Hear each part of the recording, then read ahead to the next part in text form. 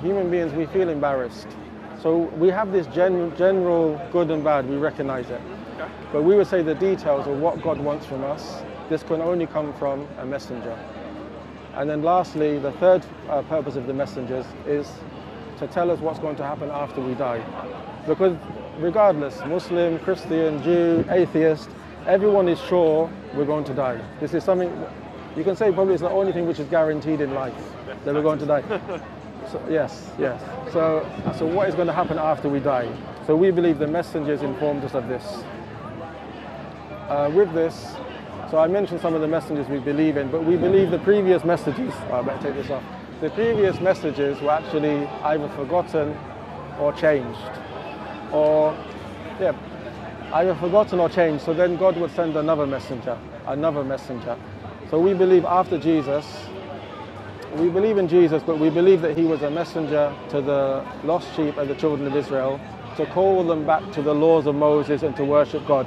But we don't believe Jesus was God.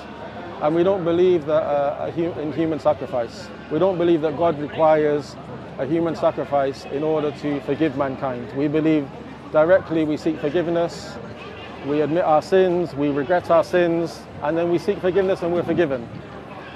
But we believe because the message of Jesus was corrupted, that they made him that he was God or he was the Son of God or one of three in the Trinity, that he was a human sacrifice, then we believe after him, uh, 600 years later, that God sent a, another messenger, the Prophet Muhammad, peace be upon him. But where the previous messengers were sent to a particular time or particular place, we believe that he's the last messenger for all mankind. Okay. So So- there's not going to be another one. No, and the reason being because the Quran mentions in chapter 15, verse 9, uh, "Inna nahnu nazalna dhikra wa inna lahu lahafidhun."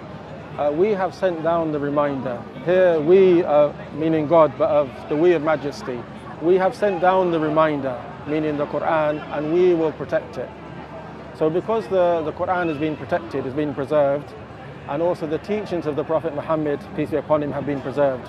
Also, it mentions in Quran chapter 5, verse 3, اليوم أكملت لكم دينكم وأتممت عليكم نعمتي ورضيت لكم الإسلام دينا ورضيت لكم الإسلام دينا. It mentions that on this day I have completed my favor upon you. اليوم أكملت لي- I have completed my, sorry, on this day, this is when um, the Prophet Muhammad sallallahu alaihi wasallam was alive. Have, have you ever come across Hajj? Yes. It's like the pilgrimage which we make once in a lifetime to Mecca. oh yeah, of course. So yeah. The the five pillars. Yes. So the Prophet Muhammad, peace be upon him, uh, the, the year before he died, he performed this pilgrimage. There's a day called Yom al Arafah. It's the day of Arafah. It's the most important day in Hajj. So what we believe is this verse was revealed to him on this day. It's about 80 days before he died. And it says, Al-Yawma akmaltu dinakum. On where Allah says, on this day I have completed your religion for you. It's complete. Right. Everything which you need to know, everything which you need to do in life, everything which is harmful for you, I have completed it for you. Uh, and I have completed my favor upon you. So we understand human beings have many favors uh, wealth, family, loved ones, uh, good health. Inshallah, inshallah. But the greatest favor is to know who is God and what does He want from us. And then it mentions, and Allah says, and I'm pleased for you that your religion should be Islam. So three, three things happened. The, the religion was completed, the favor was completed, and the only religion which is accepted is Islam. So I'm just trying to get. So this is what because the the point being so because you asked is he the last messenger because the religion is completed and it's pre- preserved and it's for all mankind. There's no there's actually no need for another messenger Yeah, that makes sense. So how does that sound so far? Yeah, it's just nice seeing a different perspective on things. Okay, but does it make sense? Yeah, it makes sense. Okay. And also I mentioned that um, the Quran mentioned in the deen in Allah is Islam that verily the religion of Allah is Islam. Or in another verse it mentions وَمَا يَبْتَغِي غَيْرَ إِسْلَامَ دِينًا فَلَا يُقْبَلَ مِنْهُ وَهُوَ فِي الْآخِرَةِ مِنَ الْخَاسِرِينَ If anybody desires or chooses a way of life other than Islam, it will not be accepted from them. And in the hereafter, they will be amongst the losers, which is obviously a very exclusive claim. But you'll find all religions generally they have an exclusive claim. But the human being, we, be, we have been given intelligence. So, you know, like if, a- if a person wishes to do well in life, uh, they seek education, college, university. We know that even people, they will travel from one side of the country to the other, or people from travel, travel from one side of the world to the other in order to better their life. But the intelligence we have, it should be able to uh, come to the conclusion of what is life, what, what is the purpose of life. So the reason why we would say that Islam is the only religion which is acceptable, because all the other religions we say they have been uh, distorted or changed. Okay. So for example, Christianity. We believe uh, Jesus was a messenger and he told people to worship one God and one God alone. But they made him into a God. So we'd say that this is gone astray. See where you're going. Uh, Moses, Abraham, we, were, we believe they came with the same way of life, worship one God and follow the way of the messengers. But the people, they made it into an exclusive religion. Only if you're from this, uh, this bloodline. Yeah, it's like a race, isn't it? Only if you're from this race, you are the chosen people. And everyone else is outside. I mean, they're not condemning everyone else, but they're saying that the God, like if, if you read the Old Testament, you will constantly find the God of Israel, the God of the Hebrews. And it's, it's very exclusive, which doesn't include other people. So we would say that this is a, a distortion. And then if you look at other religions where they worship idols or etc., you, you, will, you will find some, some reason why it can't be true. So, let's say, just for argument's sake, you just don't have any access to Islam. You've Yeah. never heard about it, but Yeah. you've lived a really pure life. You're Yeah. a good person, morally, ethically, all of that. Yeah. But you've just never, it's like you've lived under a rock. Like, Yeah. the part of the world where there's just no Islam. Yeah. What happens then? What does, how does, how does Allah respond to that? Does he, does he still accept you in, or Uh, I would say two things. One, it doesn't affect you because you live in London in 2023. So that's, we'll put you to the side. But I can't remember the Arabic because the, uh, the thing is, the Quran is in Arabic. When we say in English or in Spanish or in Italian, or we'd say this is only a translation. So this particular verse I've forgotten in Arabic, but it's in uh, chapter 17 where it mentions that that Allah will not punish until He sent a messenger. So the, the message has to be delivered to a person.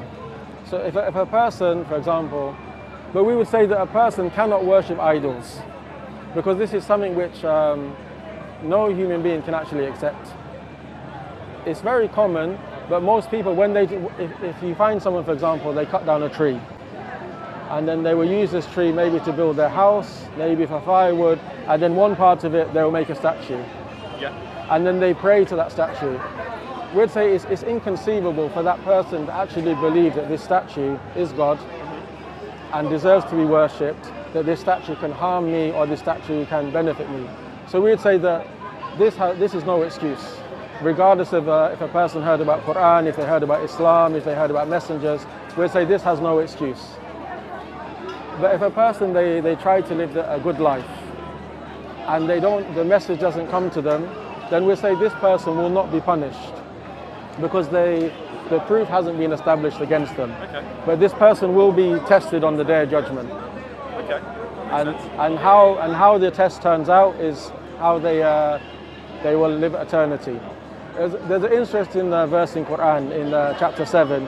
It mentions that, you know, Adam, uh, uh, as in Adam and Eve. So Adam, our father, Allah mentions that before Adam was placed in this world, Allah took all of the souls from the loin of Adam, Adam, so all of us basically, all mankind, and we were placed in front of Allah, not as, not as we are now, but as the souls.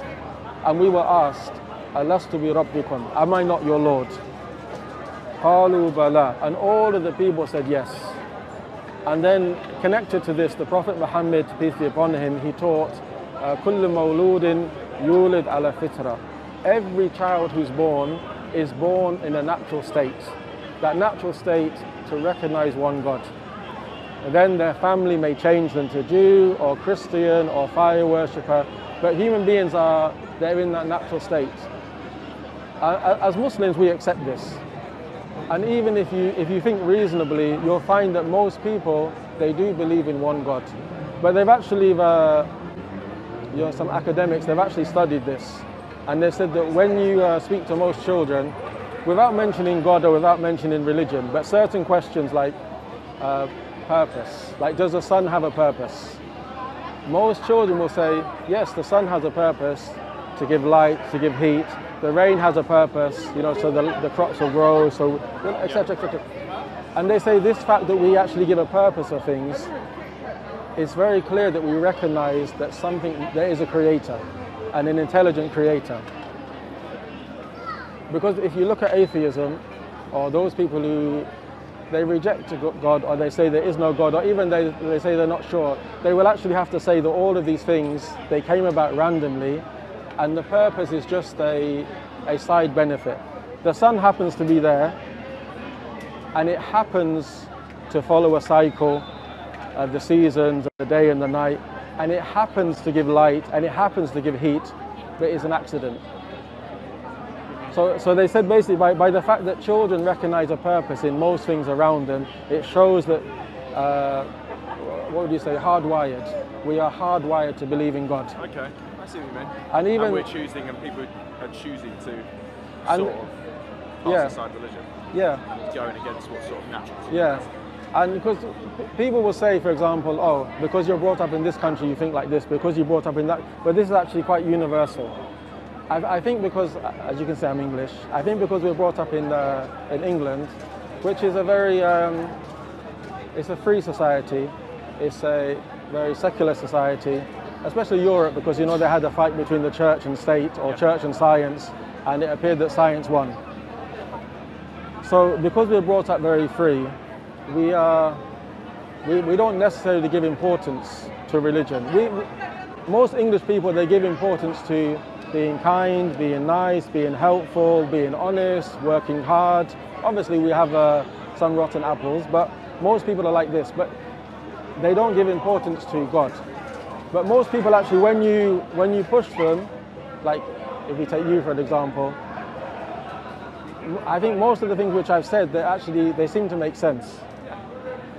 So, and then in, in other societies, even if they're brought up worshipping idols, there, there's a very uh, it's a small story. It mentions that a a person used to worship idols, and then one day, as he was worshipping his idol, he saw a dog came and urinated on the idol. So the person became so angry and began to run after the dog, wanting to punish the dog. How can you urinate on my God? As he's running, as he's running, the person thinks to himself, what am I doing? This, this statue cannot help itself. It cannot protect itself. So why am I angry?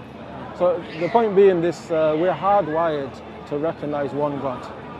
Like we're hardwired to uh, know that honesty is good, looking after the elderly is good, being kind is good, lying is bad. We're hardwired. So Okay. that is the basic message of Islam. Okay. I would love to chat to you more. Honestly, I'm really enjoying this conversation. No I've got to problem. Get to work. Thank Where- you so much for chatting to me. Can I give you a Quran to read? Yeah. Okay, one more. Oh, okay. Oh, okay. Are you local? Uh, I live in Woolwich. Okay, so not I'm far. half an hour away. Okay. But there's always things going on here. I, um, I work most weekdays, but I work every other Saturday, and there's always um. There's always quite- something. It's just quite a busy. Yes, busy yes, yes, yes, yes, yes. This stand is up every Saturday. Oh, these brothers, yeah. Yeah, these guys seem to be. Yeah, they're our neighbours. Yeah, this is our stand. This is your stand there. Yeah, I mean they have a lot more books and stuff like this. Anyway, this is the Quran and some leaflets. We're here every Saturday. Any questions? Okay, sir. Thank you very much for your time, Yusuf. Yusuf. Yeah, and your name, Jay. Nice to meet All you. the best. Thank you very Thank much for your time. Okay, Thank thank you. you. Have a good day, buddy. You too. Thank you.